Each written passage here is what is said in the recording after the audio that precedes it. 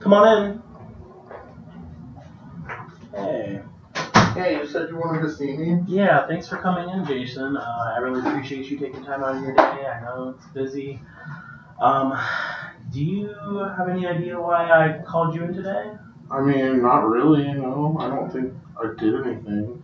Well, um, you recently submitted a short story to me. Uh, I think you'll remember.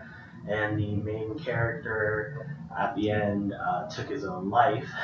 Um, and, you know, it seemed in the story that it was a pretty justified uh, suicide. Like uh, the way you wrote it kind of gave credence to the character's actions. Um, and I didn't know if uh, you know you wanted to talk about that at all. Well, I mean, it's just a story. I mean, you, you asked me to write a story for class, so I wrote the story. I mean, I did what you asked in the assignment. What would some what would some of the factors be that would contribute to a person wanting to kill themselves? Well, I don't know. I mean, like, like I said in my story, like, there's just a lot going on for that guy. So, like, I don't know. He was just having a hard time. So, I don't know. Emotional issues. and, Yeah. Uh, are you are you experiencing any kind of emotional issues like that? I mean, I don't know. I'm in high school. I mean, everybody in high school has emotions and stuff. I mean, I don't know. My family just doesn't get me a lot of times. And, like, I don't know. My friends sometimes either don't get me or, like, just want me around. Like, sometimes. I don't know. Um, so I'm gonna go ahead and be completely honest with you, Jason. Uh, I myself, when I was young and in high school, struggled with depression. Uh, I think that a lot of people end up struggling with depression at this time in life, and uh, I don't think that it's anything to be ashamed about or stigmatized about. You know, I think if people are feeling these kinds of emotions, that they should definitely talk about them. Yeah. Uh, so, what are some things that might be leading to you feeling these emotions? I don't know. Like I said, my parents just, like, don't get it. And, I mean, like, they're trying to be supportive, but, like, they're not around a lot. You know, they work a lot. And, I don't know. I think that they just have a lot on their plate, so they don't get me. Like, you know.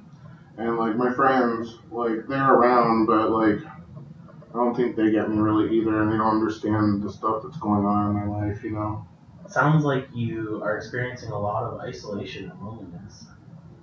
Yeah. I, I mean, yeah. How do you deal with something like that?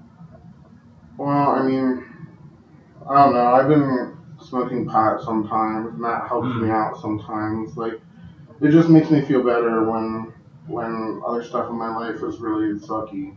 You know? Okay, I see. Uh, has that had any kind of a negative influence on your life that you've noticed? I mean, I don't know. Sometimes I don't. I feel like I'm not so productive when I smoke a lot, but like, it just helps me deal with stuff. You know, like with my parents, with my friends, and with school, and all the other stuff going on. Keep your mind together. Uh, I can understand that. Um, you know, sometimes it might help if you kind of just keep a little log and you know you write down that day what substance you used and how you're feeling.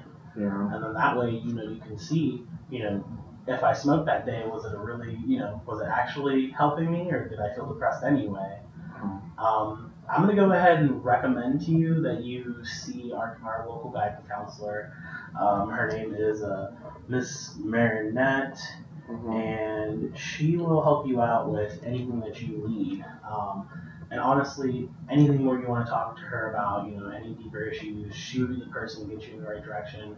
Especially just from hearing from what you're saying, you have some, you know, substance abuse issues maybe that you yourself don't feel comfortable about, even though you're doing them. Mm. Would that be something that interests you? Yeah, I guess. I mean, it would kind of be nice to talk to somebody that isn't one of my friends and isn't going to judge me. I guess. Mm-hmm. Yeah, I know exactly how you're talking, how you how you were talking about. Um, well, thanks for coming in today, Jason. I really appreciate you talking to me, buddy. Yeah, And, uh, thanks. Hope the rest of your school days goes good. Okay. All right. Take care.